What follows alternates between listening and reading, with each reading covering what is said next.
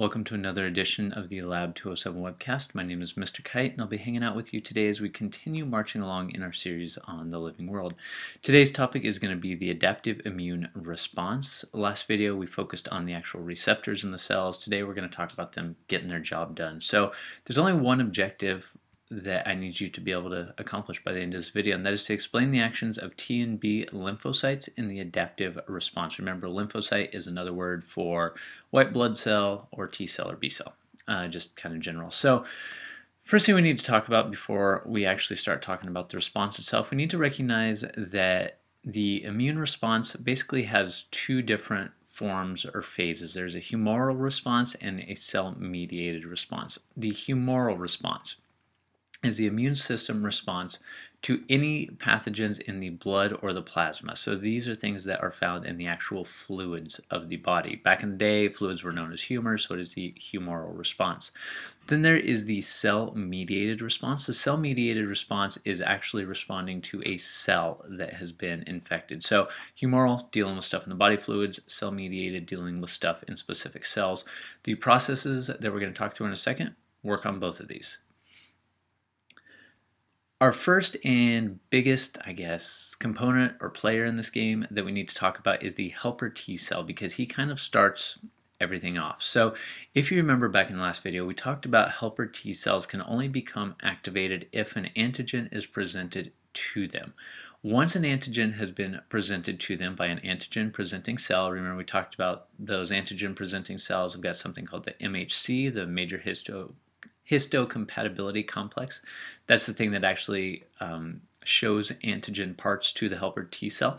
Once those two have hooked up, the helper T cell has recognized it, a cascade of things start to happen. So first thing, helper T cell recognizes that antigen, binds to the cell that's presenting it, and it begins to proliferate, which means that it starts to divide, um, producing clones of itself that are specific to that one antigen. As it is proliferating, it also starts releasing cytokines, and cytokines are signal molecules that are going to activate other similar helper T cells and other cells that are going to be involved in the response. And then those uh, cells that are proliferating go in a couple of different directions. Um, I've got the next step there as being specific action. Here's what I mean by this. Some of those cytokines that go out are going to activate B cells, and those B cells are going to start secreting antibodies that are specific to that antigen. So the antibodies will circulate through the blood doing their thing. And the cytokines will also activate cytotoxic T cells, and those cytotoxic T cells, if you remember, are going to go out and kill infected cells. So helper T cells kind of set off the whole process. Cytokines do some signaling, and based on that signaling, you get a multitude of responses.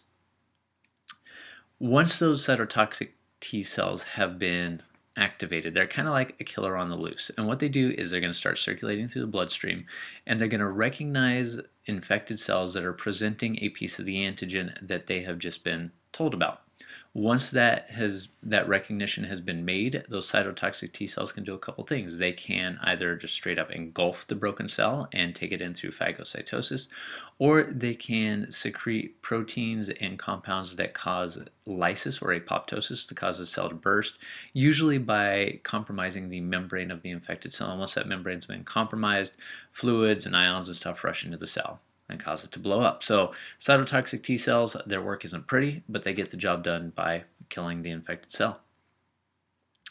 Talking about the B cells, once those B cells have been activated, their job is pretty simple. Rather than having to find specific cells that are broken, they just start uh, secreting antibodies. And those antibodies are going to go out and, as I'll talk about on the next slide, um, shut down the pathogen in a multitude of different ways. Now, an activated B cell can do some serious work. They can secrete up to 2,000 antibodies a second for the days, five days or so that they are alive. So, as that cascade happens, the T cell sends out cytokines and signals this guy and says, Hey, I have found the thing you work against.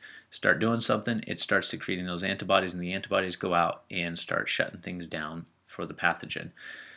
Speaking of those antigens or antibodies, these are the workhorses of the immune system. They do a ton of different things, and I'm going to go through just a couple of them. So, at the most basic level, a pathogen. So because they bind specifically to the pathogen, once an antibody has bound to that pathogen, it can keep the pathogen from binding to a cell that it is going to damage. So that would be most basic, just neutralize it, shut it down, keep it from binding to anything else. If a cell has been infected, the antibodies can bind to the infected cell and it marks that cell for destruction later on. So as our cytotoxic T cells or natural killer cells are circulating through the body, they can recognize a cell that has been marked with these antibody flags and know, hey, that one's broken, I got to go take care of it. So that's another thing they can do.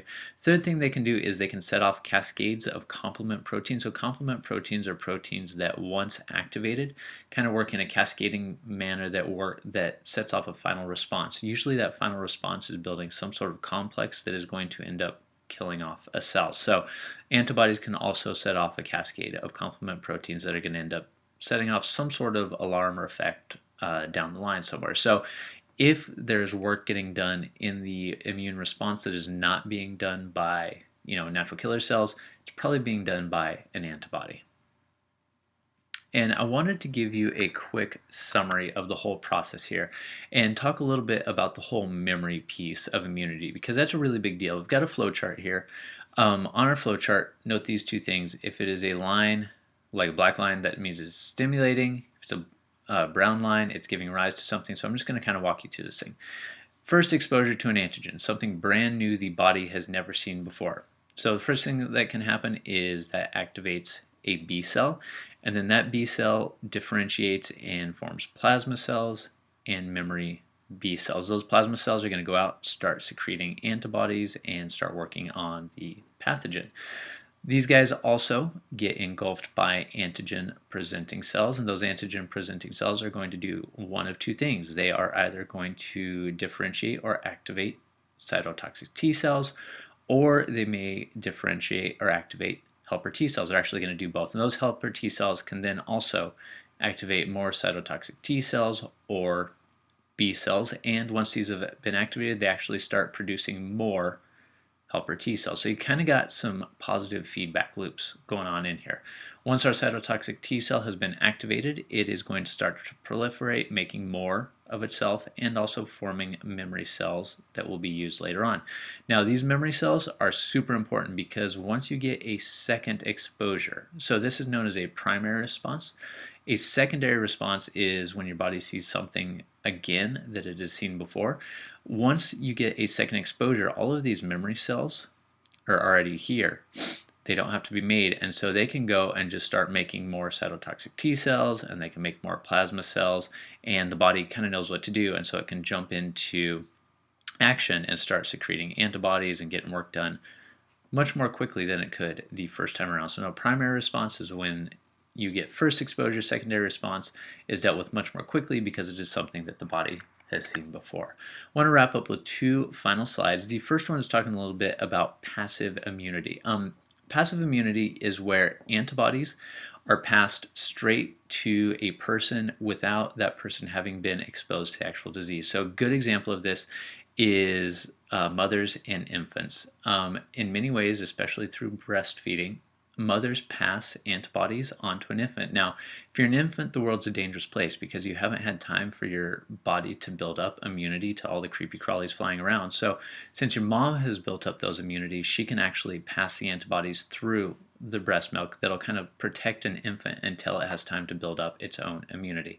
Um, next slide, I'll talk about vaccination. Vaccination is another form of passive immunity where you're getting antibodies without actually having the disease. Or in the case of vaccination, another way you can go is you are infected with something that resembles a pathogen, it's a killed pathogen or it's a less virulent pathogen or something like that, but it gives your body the chance to build up immunity in a safe scenario where you're getting like a reduced form of the disease or broken form of the disease so your body can safely build up immunity without you having to go through a whole infection. I got to post it on the side because I'm also teaching a public health course right now. We talk about smallpox.